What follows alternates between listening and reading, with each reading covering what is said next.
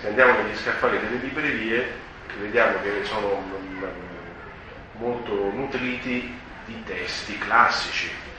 che sono quelli che paradossalmente si dice ancora vendono, forse perché sono già noti, forse perché eh, diciamo, a un, un lettore occasionale di poesia è più facile eh, avvicinarsi a un testo che, di cui ha già sentito dire qualcosa piuttosto che a un testo di cui poco conosce, anche, anche rispetto agli autori. Allora la doppia domanda era cosa accadeva quando tu invece hai cominciato a, for- a formarti e a, ad avvicinarti alla poesia e cosa potresti suggerire a chi si vuole avvicinare alla poesia oggi, piuttosto che andare al solito Shakespeare eh, o eh, i canti di Leopardi o se va bene Hikmet, eh, Tagore e via dicendo. Ma guarda, il, il, fenomeno penso che sia facilmente spiegabile anche in termini di eh, proprio reazione emotiva. Faccio un solo esempio, il mio amico Dario Bellezza, che è morto nel 95, aveva tre anni più di me, io sono del 48, lui era del 45, quando era vivente, pubblicava libri come faccio io adesso da Mondadori o da Berlanti, vedeva le 3.000 coppie canoniche della tiratura che dicevo prima, quando andava tutto bene. Come Dario è morto nel 95, eh, la Mondadori aveva inaugurato la collana dei miti, che erano quei libretti eh, rettangolari che sembravano dei CD, dove appunto c'erano i classici, Saffo, e, e lui morto, perché se lui fosse stato vivo, mai che l'avrebbero messo in quella collana lì lì ci mettevano Sacco, Rimbaud, Hitman, cioè quelli da 100.000 copie, perché so, erano, mentre un libro mio di poesia costa 15 euro,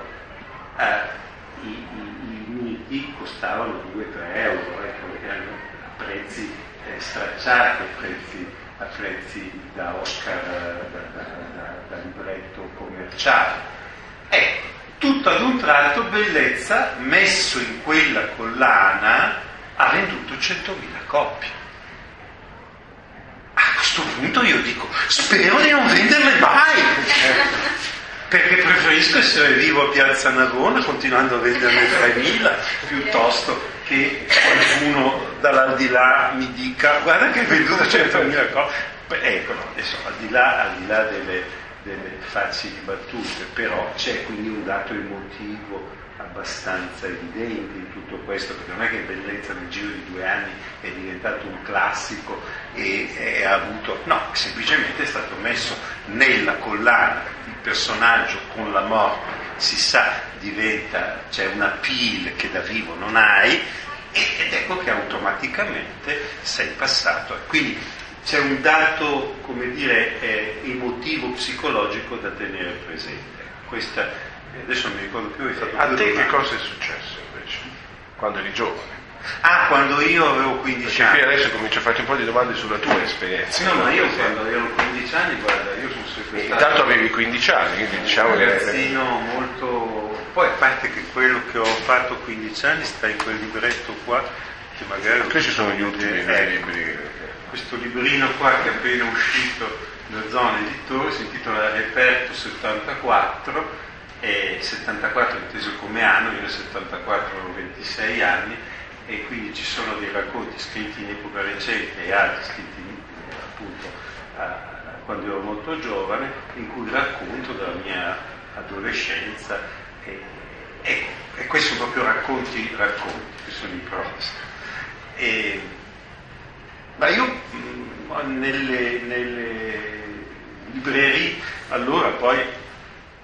non è che ci fossero librerie che ci sono oggi, eh, parlo quando avevo 15 anni io, le belle librerie non c'erano ancora, però c'erano le vecchie librerie con le vecchie librai. Io ricordo per esempio aggrappato in alto a certi scaffali della libreria Carù di Gallarate, che poi è diventata importante anche come eh, negozio di dischi, dove, e, e, mi trovavo le vecchie edizioni di Hermann Hesse, di, di, di poeti, di narratori, cioè hanno delle vere e proprie scoperte. Io credo, e poi in biblioteca naturalmente, biblioteca, eh, biblioteche, librerie. Oggi è chiaro che uno entra alle messaggerie o, o entra al web bookstore, anzi ne approfitto per dire che domani sera alle 18 al Mel Bookstore di Via Nazionale. Eh, ci sarà anche Nicola presenteremo con Gabriele Frasca proprio questi due libri, questo di Donzelli che è appena uscito e questo qua dei racconti. Eh, quindi la mia, la mia formazione è stata, è stata, in questo modo, ci andavo a scuola eccetera, però leggevo molto per conto mio eh, facendo le scoperte, cioè proprio le scoperte, le scoperte. Eh, non mi accontentavo di quello che la scuola mi dava, capivo che c'era un imbroglio, cioè capivo che eh,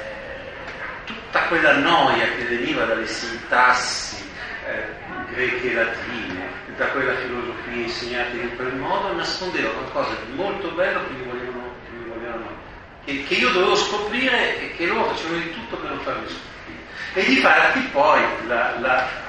a un quindicenne, a un diciottenne, tutto sommato, piace arrivare al frisson del vero testo. E quanti tesori ci sono nella, nella letteratura latina e greca che a un adolescente gli piacciono perché gli parli di gioventù, gli parli di sesso, gli parli, gli parli di rapacità sulla vita, gli parli d'amore. Tutto questo io non sono scoperto da solo, perché credo fosse oggi qualche insegnante così, magari qualche, qualche poesia latina o greca un po', un po reale te la, te la, consegna, ma, ma se no era, era, una morte civile. Ecco, io quindi classici me li andavo a vedere in biblioteca e ogni tanto trovavi le pagine eh, censurate, trovavi tutte... Eh, io marziale, non lo so, però voglio dire, proprio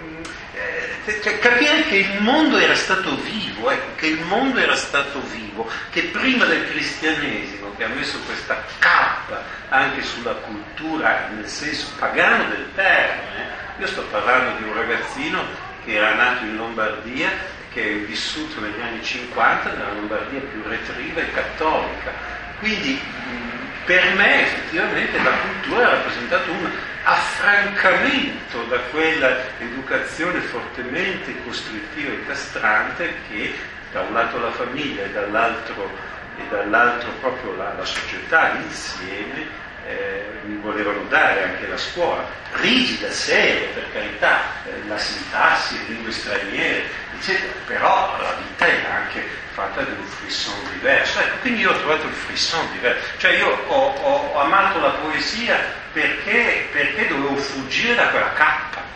Dovevo scoprire che anche 3000 anni prima, 2500 anni prima, si era amato, si era eh, sofferto, si era goduto come io volevo godere, come io sentivo che il mio animo e il mio corpo volevano godere e, e la famiglia e la scuola non mi davano niente di tutto questo. E, e, e, quindi la letteratura e la poesia nello specifico per me è stata una grande liberazione, è stato il modo per capire che la vita poteva essere anche qualcosa di diverso.